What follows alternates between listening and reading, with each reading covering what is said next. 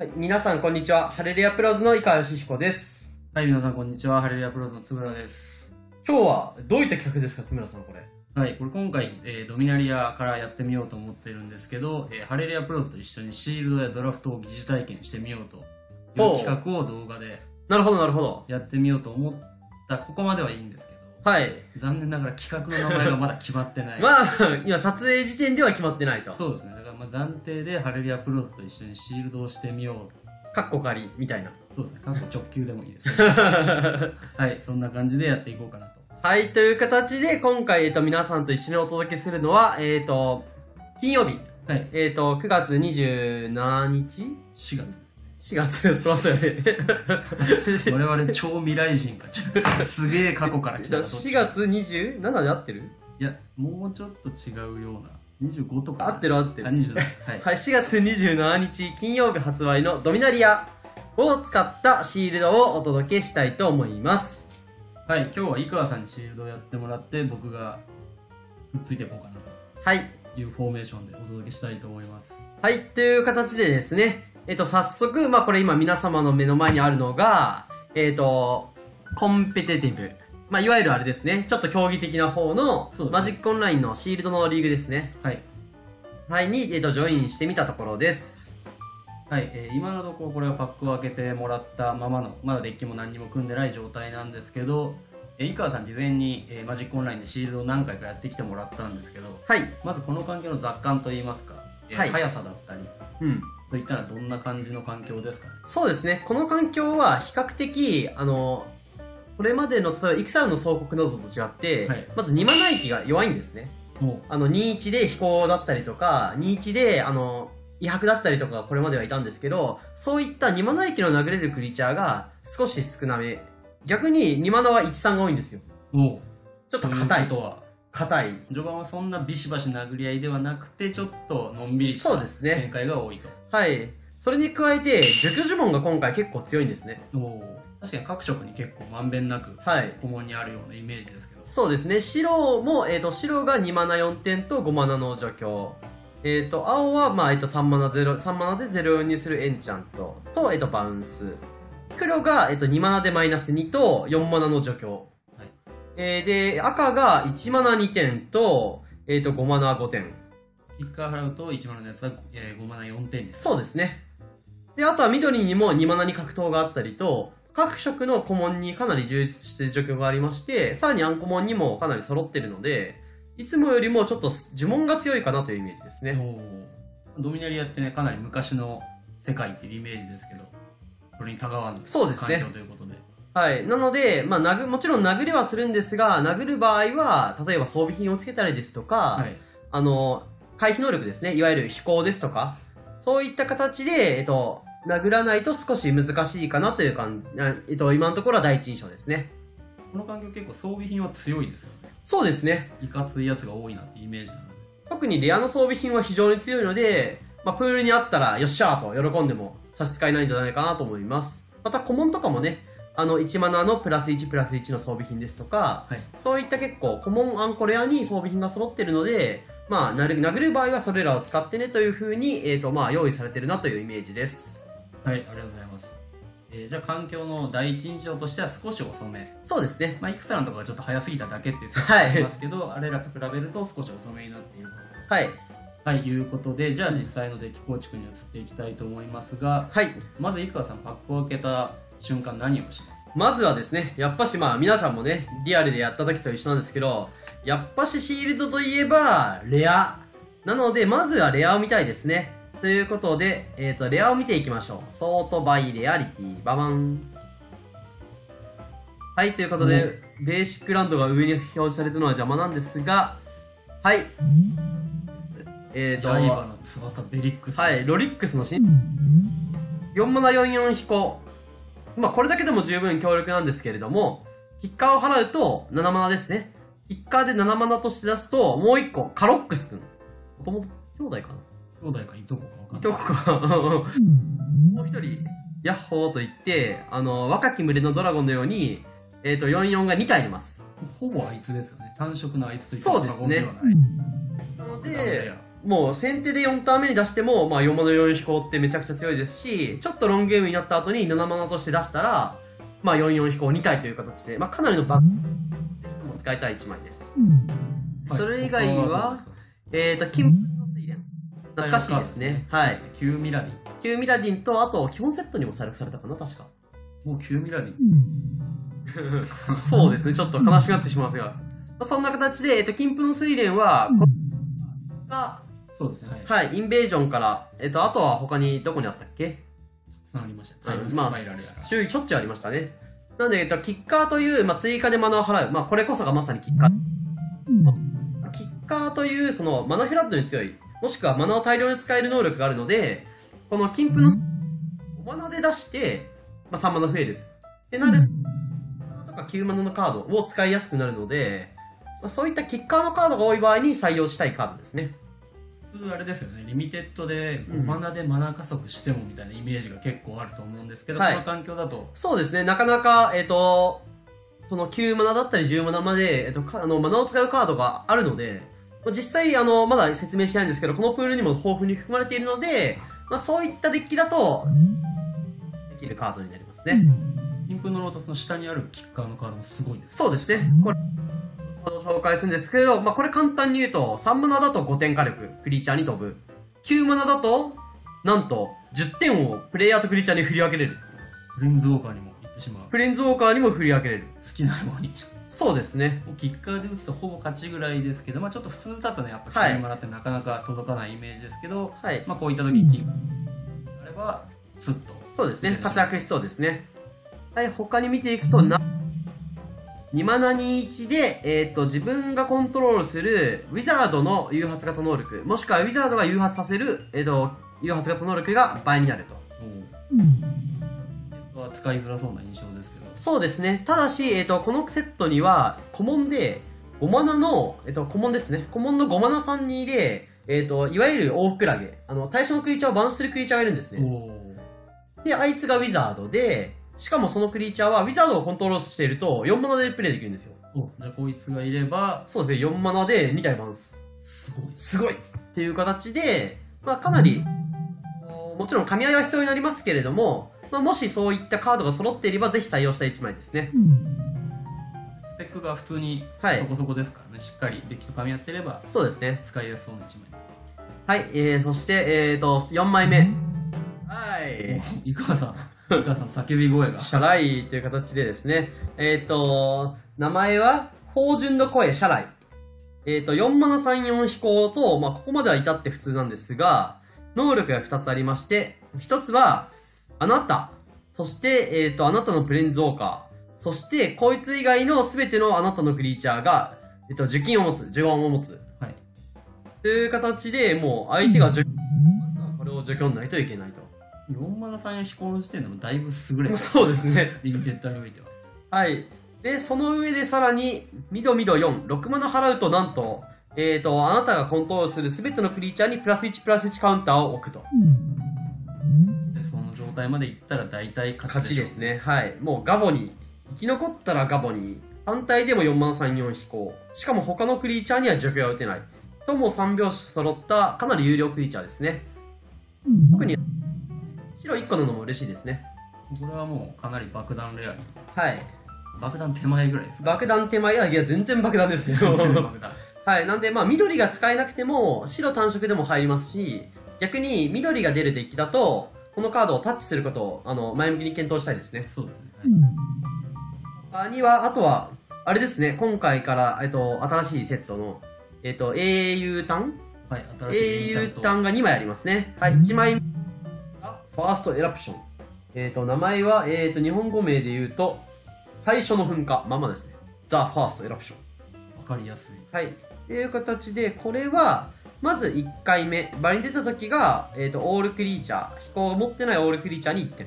微震ですね。まあちょっと地味に見えますけど、この関係は苗木を出すはい。戦略がありえそうなので、まあメインボードとしてはちょっと役不足かもしれないですけど、サイドインはそうですねそうですね。1段階目が微震。で、2回目がマナが出て、3回目で爆発。3回目は自分のや山を生贄に捧げて、えー、で、えっ、と、すべてのクリーチャーに3点、大噴火ってことですね。なるほどなるほなので全体塾ですね、基本は。じゃあ耐えれば全体に3点はすぐってしまうと。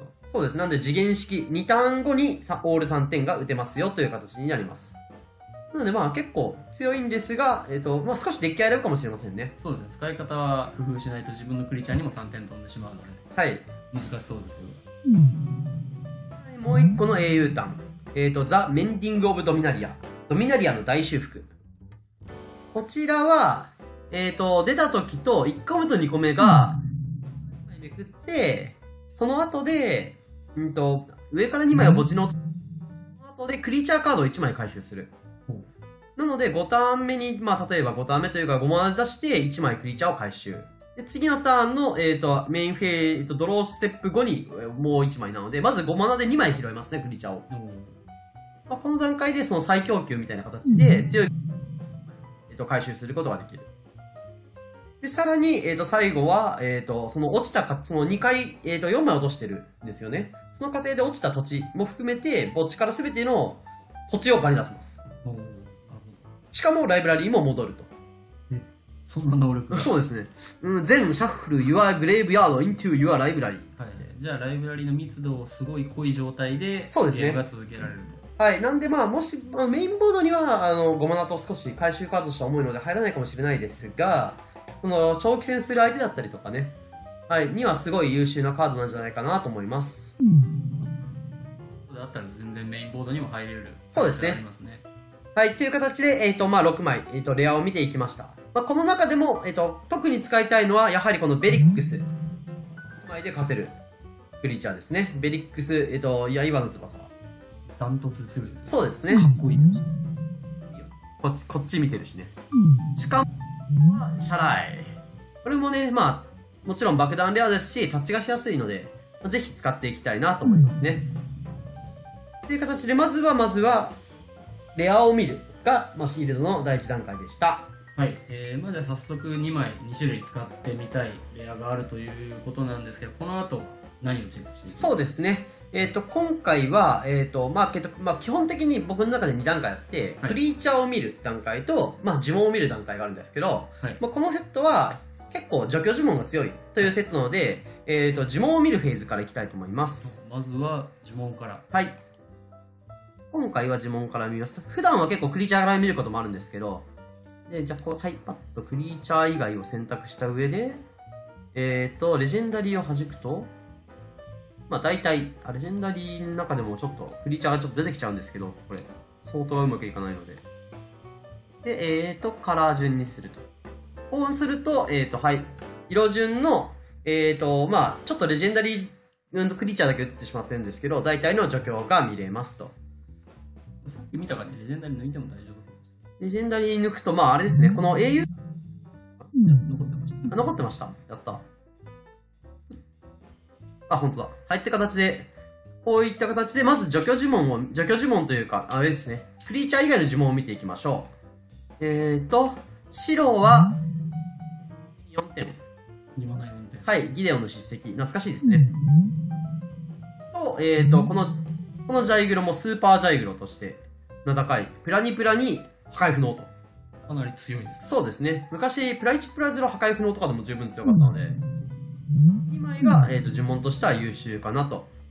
破壊不能のジャイグロって後出しで絶対勝てるのがずるいですよねそうですね。相手が何かしてきてうん打ち返す時に絶対に勝てるんで大体どんな呪文に対しても最強そうですね。コンバットして、相手がジャイグロ、例えば、強ね、あの強化呪文打ってきても、こっちが強化呪文打ったら、まあ、サイズも、で、絶対に死なないとか、そう、こういうギデオの叱責みたいな呪文に対して打ち返すといいですよね。そうですね、まあ、あとはあの相手が、えープラスストライ。クそうですね。こういうカードですね。カードを打ってきた返しで打つともう。それサイズ差が少しあっても大体打ち取れるのでコンバットトリックとしてはかなり優秀な部類に入ります。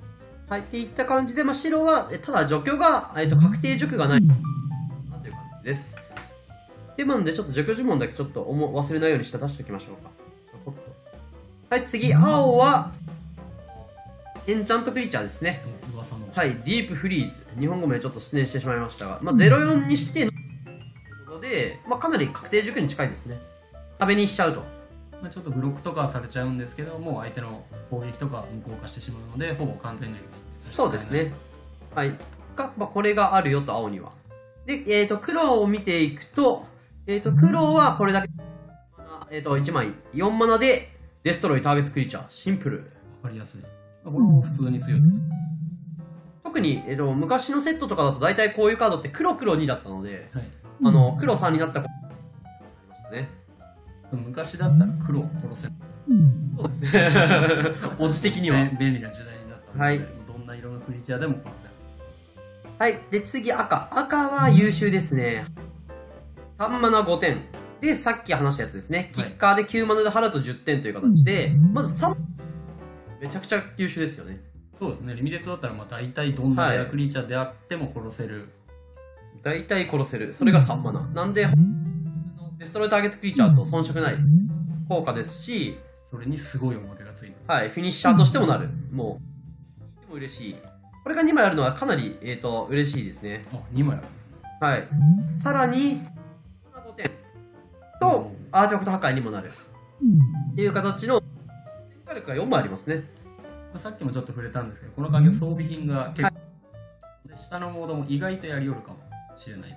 意外とね、やはりその装備品を割ることで、まあ、デストロイターゲットアクションを使うこともありますよ。で、緑の方を見ていくと、緑もね、えっ、と、じょ格闘です。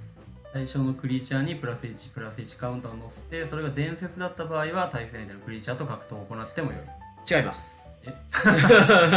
いや、これテキストが悪いんですけど、はいまず、えっ、と、あれで逆なんですよねあ。格闘が確定で。格闘が確定で、伝説だったら載せるんですよ、プライチ。はいはい。悪い、これは。伝説じゃなくても格闘がマストで、伝説だったらプラス1のおまけがついてる。そうです。形になります。はい、すみません。早速テキスト知らない。はい、っていう形でね、はい、あとはまあ、この、なかなか優秀ですよと。今のプラス2プラス2でキッカーを払ってると代わりにプラス4はい。修正を与える。4マナプラ4もできて、2マナでプラ2。しかもアンタップもする。おーうん。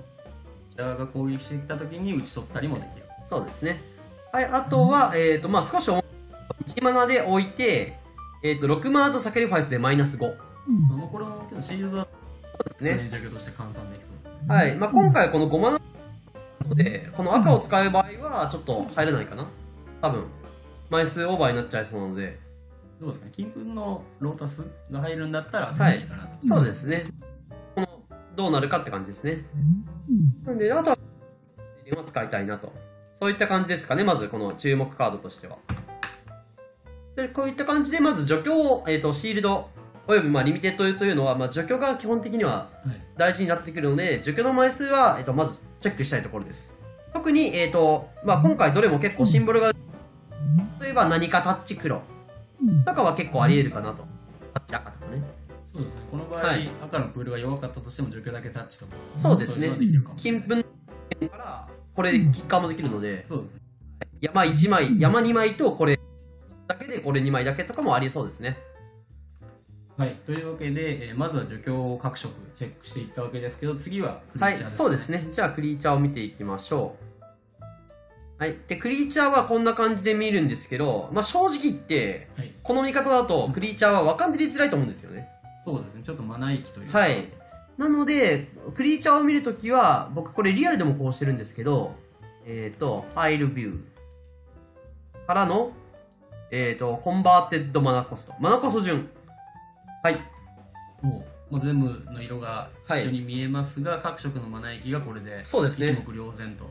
はい。なので、これを見ていただければ、どういうデッキが組めるか、何が組めないかっていうのは結構分かりやすいんですよね、この段階で。例えば、黒。うんすごいです。すごいですよね。クリーチャーがたったの4枚全全部で4枚しかない。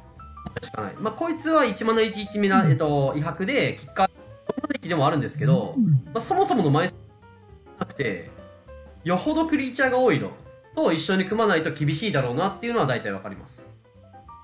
ちょっと黒の質が良くない限りはこの時点で弾いちゃってます。そうですね本当に除去タッチするぐらいの可能性だけ残して、はい。まあ実質、もう先ほどのね、黒のスペルもなかったので、まあ、この段階でもう黒を使うことはないでしょうと。あ、こっちだと敵に入っちゃう？ね。入っちゃうね。ハイド。ハイド。ハイド。はい、次に見ていくと、えっ、ー、と、まず、えっ、と、優秀そうなのが、まずやっぱ、えっ、と、4マナ駅が目立ちますね。そうですね、赤が。はい。赤がしっかりと枚数がある。まあ、使いたい、えっ、と、ベリックスさんがいて、しっかりしてるよと。この4マナ44。ダブルブロック以上されると、マイナス2食らって24になっちゃうんですけど、はい。まあ1対1だったら44ですし、まあそもそもブロッカーとしては44マナ44として優秀なので、まあまあですね。赤、まあこれは4マナ2。なので、まあ殴るデッキだったら結構優秀。3体以上で攻撃してくると、こそうですね。なので、まあ、赤は、この54はあり、これ、えっ、と、まあちょっと1枚なんですけど、2マナ13。はい。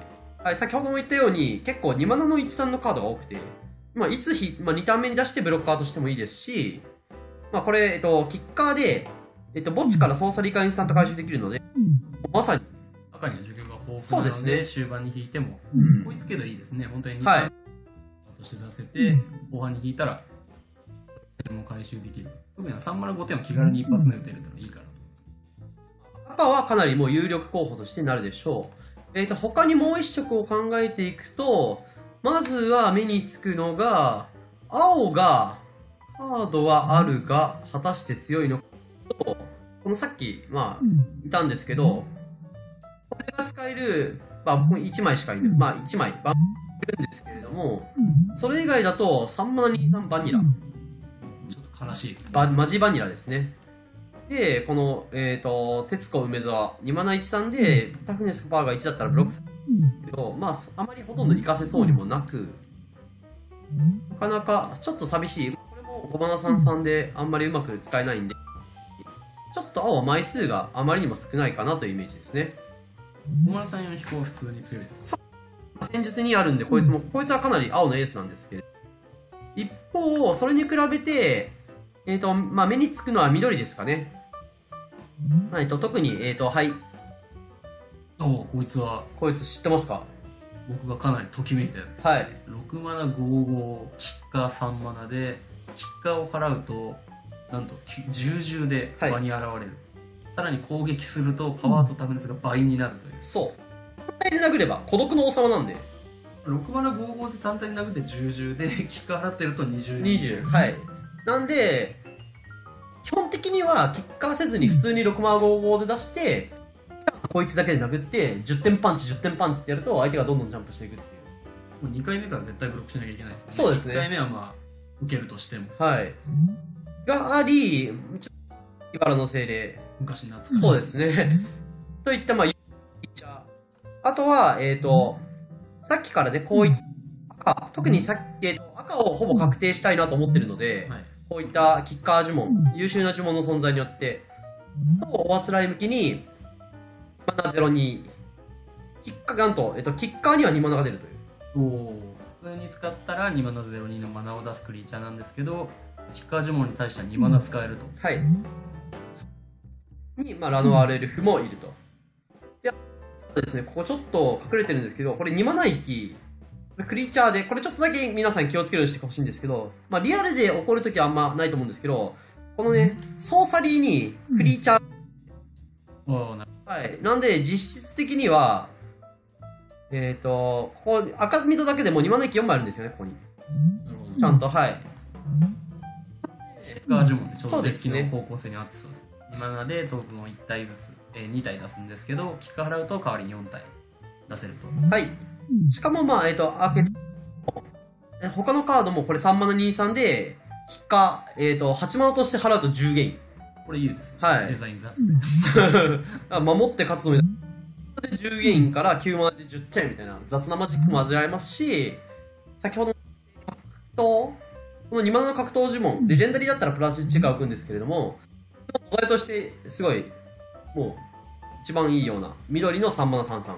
これあれですよ、キッカー呪文とそうですね。キッカー呪文払っても大きくなる。呪文でも大きくなる。かなり大つらい引きのカードがあるので、まあ、今回はこういった感じで、まあ、えっと、各除去呪文がしっかりある赤と緑。まあ、さらにクリーチャーも結構粒揃いなので、赤緑をベースで組んでいきたいなと思います。すごいコンセプトがしっかりしてそうですね。ぜ全体的にキッカー推しのそうですね。デッキが綺麗に組めそうな。はい。特にこの3マナ域が、まあこの、うん最悪素出ししてもいいですし、はい。2でトークンが1体出る。これ守り向きですよね、かなり。としっかりされてくれますし、そういった感じで、こういったキャンプもしやすい、盤面も支えやすい、で除去も優秀みたいなデッキに今回はなるんじゃないかなという感じですね。はい、ありがとうございます。さあ、では実際、デッキ構築を行ってもらいたいと思いますが、はい。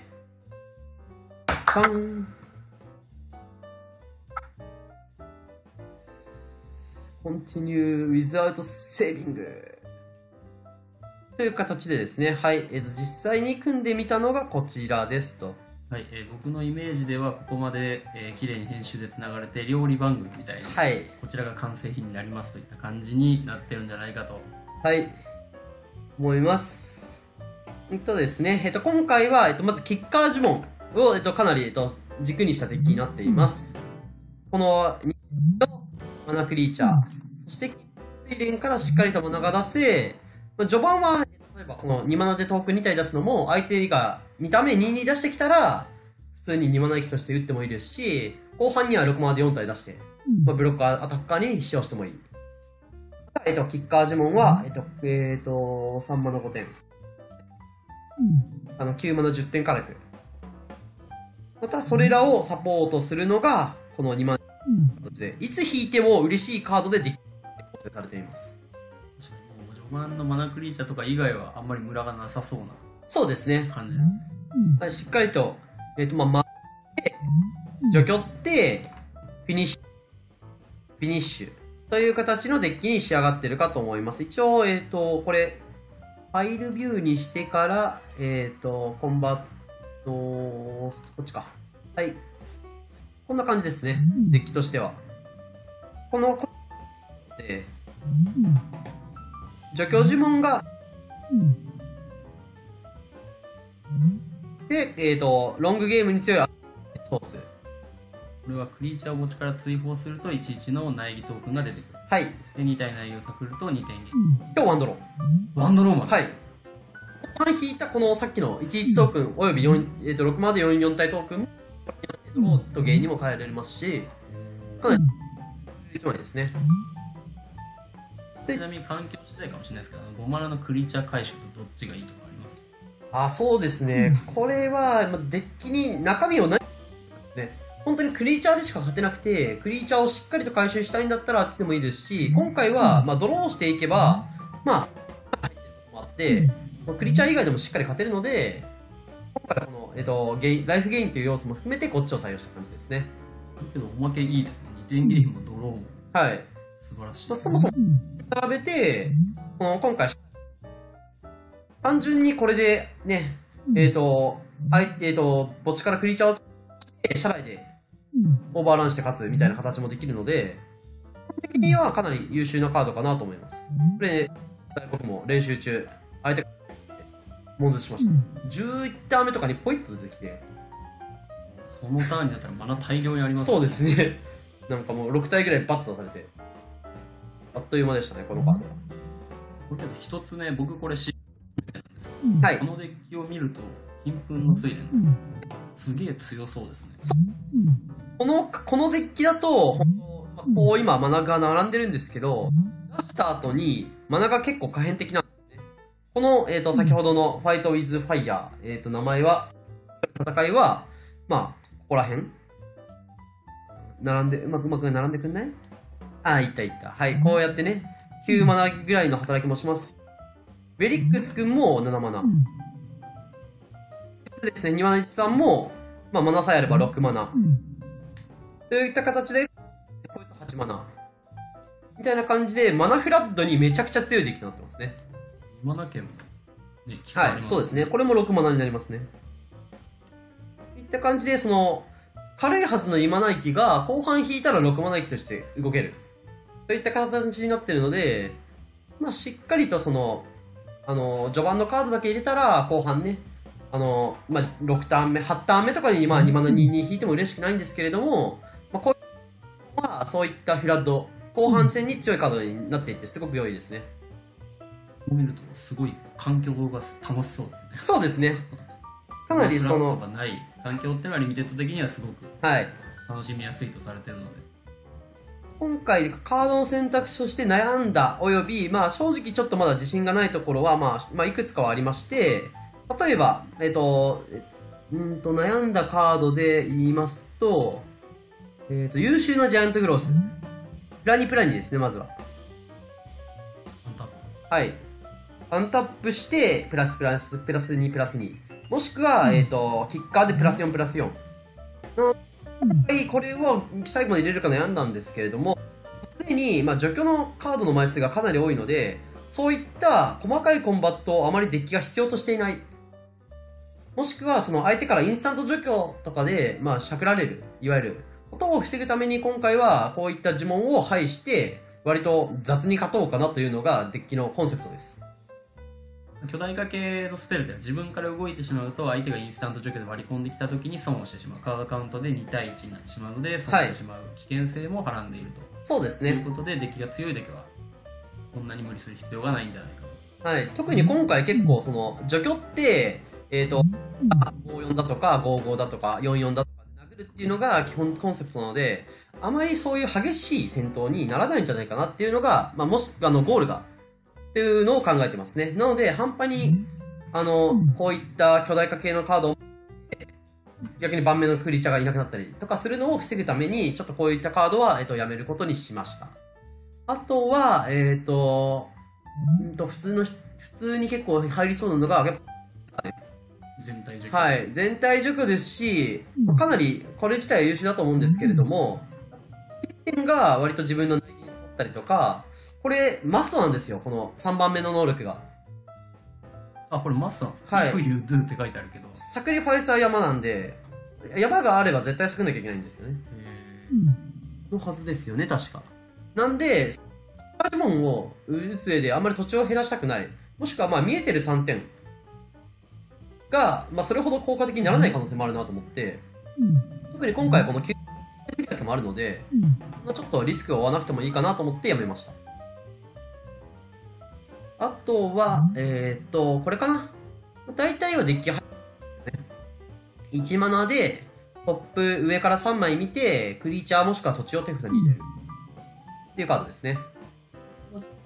16にして入れてもいいかなって感じはそうですね強いクリーチャーも多いですし土地でもいいですしはい、で悩んだんですけど、今回結構、まあこれ見ての通り、これをクリーチャー関数まあ、クリーチャーがそんなに多くないんですよね。なるほどじゃあはい実は見た目よりも当たりがそう。スペルスペルスペルで外れる可能性もまあまああるなと思って、あとはまあ、その結局土地を削って、えっ、と、こういうカードを入れると、土地を引きたいときに、あの、ラグる可能性も出てくるので、その、キッカー呪文、要するに7枚目を引いて7マナを出したいときにこういうカードを引く、というリスクもあるので、今回はちょっと試験的に、えっ、と、入れるのをやめました。その、やっぱ常に強いカード、というわけではないかなと。もちろんかなり優秀で、大体の場合は、こういった8マナとか7マナ8マナを使う場合は逆にこれが稼いになることもあるので、悩ましいなというので今回はやめた感じです。もっとクリーチャーが多かったりしたら入れてもいいと思います。ちなみに赤の英雄ターンと緑の英雄ターンを一緒に入れるプランは？あー、なるほどなるほど。そう。実ははいカード呪文が多いってことはこの土地をバカにならないんじゃないかなという僕の見立てなんですけどね、かなりその、こういう、スタンプしてから出して時間稼ぐ可能性はあるので、まあ、入れてもいいかもしれないですね。まあ、それでも赤の方はちょっと怪しいかなと個人的には思うんですけど、本当に環境次第ですよね、はい。対戦相手によって強さが結構変わっちゃうカードなので、最適かもしれないですけど。こっちは、あの、アドバンテージソースが少し、あの、乏しいっていうのはあるので、まあ、もしかしたらこれメインに入れてもいいかもしれないですね。まあ、いずれにせよ赤を入れるときは一緒にサイドにした方がいいです、はい。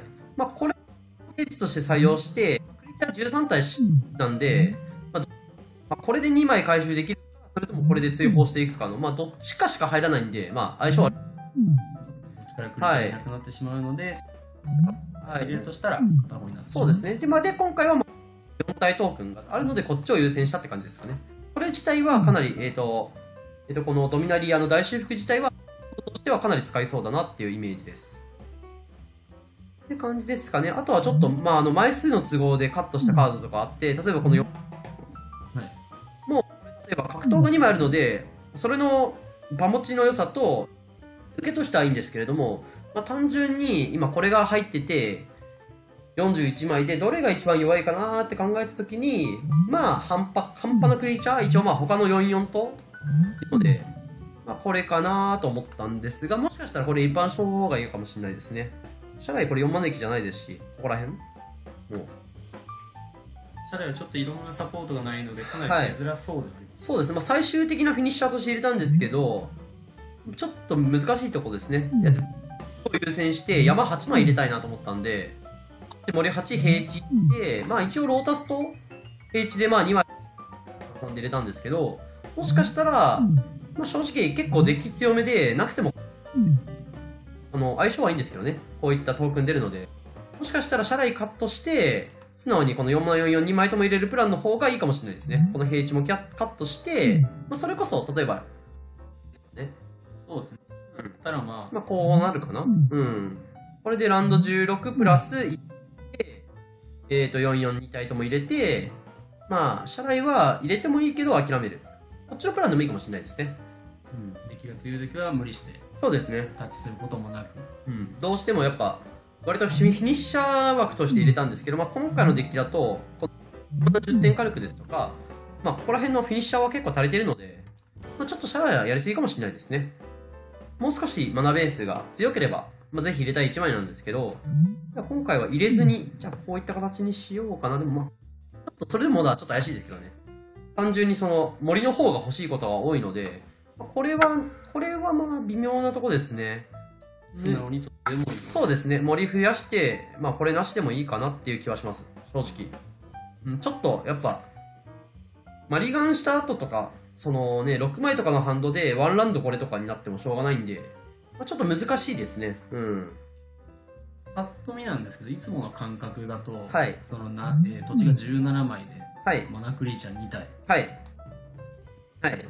絶対マナフラットしちゃうじゃんっていうようなそうですね。見栄えに見えますけど、まあ、この環境はこんだけキッカーあれば大丈夫そう。そうですね。まあ、少し、もちろんフラット気味にはなってますが、まあ、相当、この、これですね、やっぱし。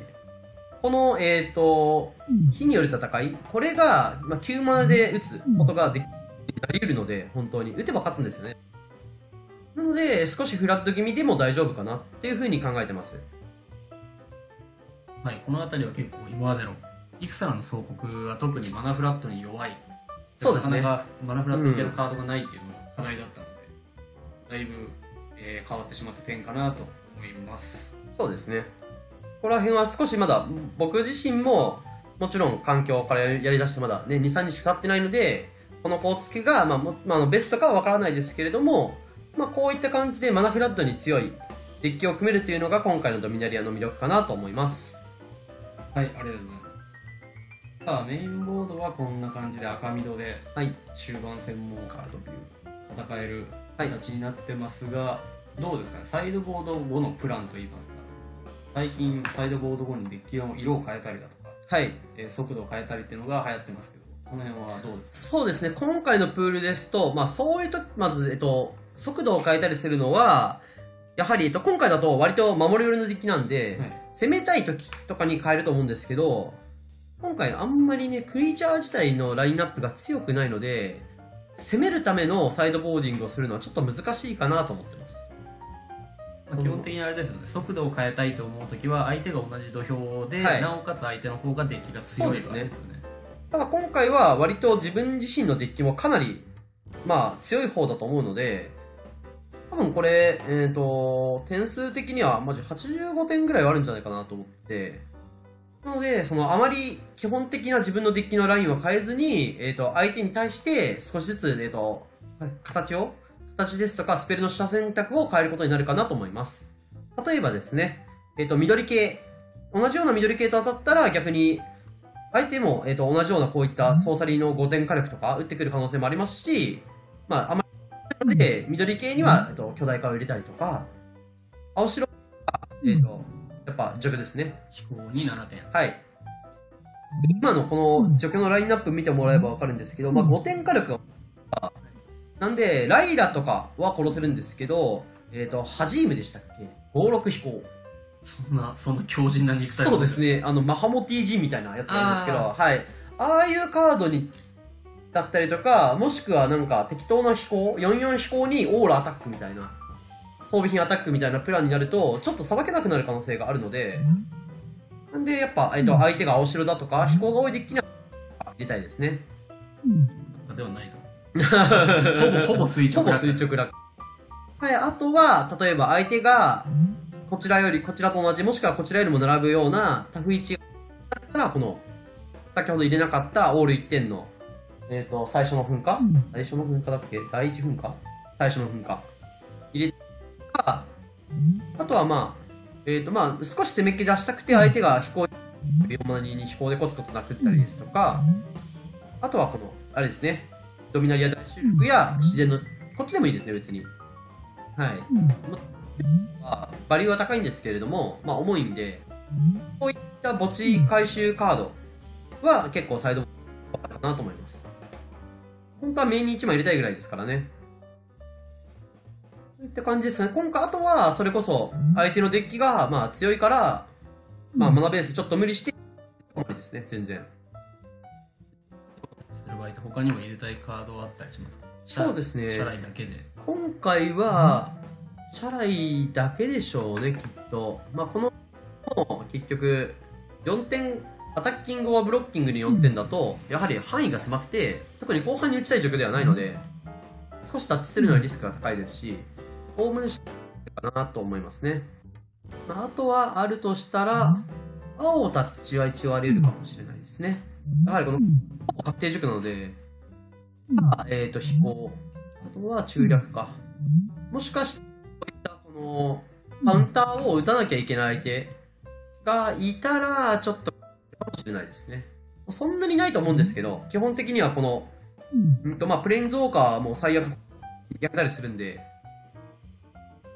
そうです。なので、今回みたいに、プールが強いときは、なるべく、タッチをせずに、もしくはその、色替えをせずに、かなりメインプランで戦うことになるかなと思います。でも打ち消し呪文いっぱい入れるは結構ありえそうですね。除去と打ち消し呪文なんで、もうそういうプランそうですね。相手によってはあり得るかもしれない。こっから抜くとしたら、青赤は、まあ一応青赤プランは、組めるかな ?1、2、3、3。やっぱクリーチャーが弱すぎるか、ちょっと。うん。馬を使うとしても最悪タッチか。そうですね。うん。こんな感じになりそうですかね。ちょっと今回、個人的には今雑感ですけど、いつもよりはちょっと色替えをしづらいなと思って、とマナサポートが少ないんですよね。この3マナ1、2? 3マナ1、2のアーティファクトクリーチャーで土地を持ってくるやつとかがいたら割とタッチもしやすいんですけど、今回それほどタッチがしやすい環境ではないですし、先ほど申し上げた通り、そんなにすごく殴れる環境ってわけではないので、その殴ると守ると切り替えっていうのがちょっといつもよりはしづらいかなと。サイド後クソビートみたいな。うん、メイン青黒、サイド後赤白みたいなクソビートみたいなのがよくあるサイドボードチェンジだと思うんですけど、そのサイド後クソビートのクソビートがいつもよりちょっと特にシールドだとしづらいので、そうなると割とメインのミッドレンジ寄りでデッキを組むことが多くなるんじゃないかなという感じですかね。で、相手に合わせてサイド後に最後を変えていくと。そうですね。例えば相手のデッキ遅かったらそれこそまだ別にいいんで、その急ぐ必要がないんだったら土地減らし、土地だとかマナ関係増やして身を増やしたりだとか、そういった感じですかね。あと後手、後手選んだりとか、そもそも。ちなみにこの環境はどうですか？今のところは。うん個人的には後手寄りですね。やはりその2マナ域がすごい殴ってくるわけじゃないので、例えばこれ、これとかも、これとか黒もこれのシリーズがいるんですけど、先手2ターン目に出したくないんですよ。そうですね。はい。後手でも相手がよっぽどな動きをしてこなかったら出したくない。そうなんですよね。そういった選択権がある方がいいかなというふうに考えてますね。特にあとは守るカードが多い。攻めるカードが弱くて除去呪文が強い。あとはレアとかが強くて割とロングゲームになりやすいので、後手のアドバンテージの方が強いんじゃないかなっていうのが今のところの印象です。これとかね、2タ目クリーチャー出してこなかったらこっちも2ターン目出さなくていいですからね。これちょっとよっぽどじゃないと出したくないですよそうですねもったいない。2とか出してきてま、あ、2にならしで、3ターン目のアクションがなからなければ出すか？って感じですよね。そのキープ基準にしているけど、出さない。そうですよね相手が動いてこなかったら後半に備えてうん温存しておく、そういうことがしやすいし、相手に合わせれるのは後手かなと思いますね。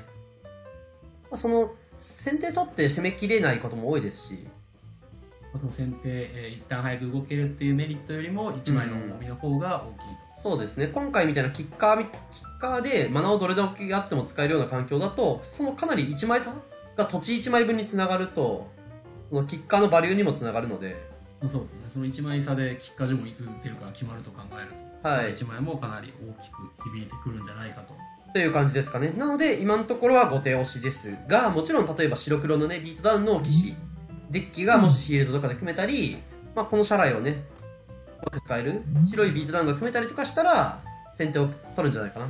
例えば、これ3マナ13で、アタックするときに隣のクリーチャーに飛行をつけるんですけど、これとかもろ先手カードじゃないですか。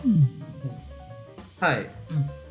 なんで、例えば、3、1、3みたいにね、動けるようであれば、まあ、先手を取ることになるですし、もう、それは必然的に先手を取ることになりますね。うん。まあけどいいですよね関係が遅いとされている中でもし早いデッキが組めたらそれだけで大きな武器になると思うのでそうですね。なので、そういったところはしっかり見ていきたいですね。あいちょっと軸をずらすというか。例えば、このプールさっき、その、あんまりサイドボードしないかなって言ったんですけど、もしするとしたら、青白はありそうですね。例えば、この、出しこの3-1、この、節子でブロックされないとか、普通に強いそうですねカードは強い3113このラインでねブロックされなくなったりとか。誰も？で社内もまあ能力がなくても4マナ3飛行で5マナ34飛行がいてでカウンター打つみたいな。それこそ相手が超なんか遅いコントロールだったら青白のクロッパーミッションとかできそうですねこれよく見ると。相手があれですよね。その呪文が強い場合はい。は打ち消し中略に頼って色変更って言えるかなそうですね、えーはい。というわけでサイドボード後は一応青白。もありえそう。ダウンもありえそうということでしたが。はい。今回のプールどうですかね？どれぐらい何点ぐらいですか、そうですね。はい、やっぱそうですね。言っちゃったんですけどやっぱ85点とか、まあ、90はないとは思うんですけど、あるのかな、もしかしたら。かなり強い部類なんで、まあ、グランプリで引いて喜ぶレベルだと思います、多分。これいいっすよね。はい。長期戦が本当に全然戦えそうなので、長期戦ができて、その序盤のゴッドレアとかにも、4枚でしっかり対処できるので、あれなんですよね。あの、ちょっとだけデッキ1個だけ欠点があって、少し飛行が止まらないので、少しというか除去じゃないと、マンモスグモ、5マナ3号の系、あの、到達がいるんですけど、あのカードが1、2枚入ってたら90点以上あったかなと思うんですけど、あれがなくて飛行クリーチャーに結構いかれるかパターンもあるので、まあ85ぐらいで。まあ最悪そういったリードダウンが結構いるってなったら2マナ7点飛行に7点をメインに入れたいっていうのもありそうです。まあ、メタ的にはある、まあ、メタ次第ですけど、まあ、そういった構築もあるかもしれないですね。まあ今回、そのサイドボードに、その備えがあるのがたくさん、ボードの選択肢がたくさんあるのも嬉しいので、そういった意味ではかなりいいですね。やっぱその、メインプラン以外もしっかりカードがある。うん。なかなか嬉しいプールですね。まあ、この後、まあ、これ、帰宅してから、このリーグ実際やるんですけど、5-0できるといいな。はい、きっと記事の下には成績が載っているんじゃないかと。思いますと。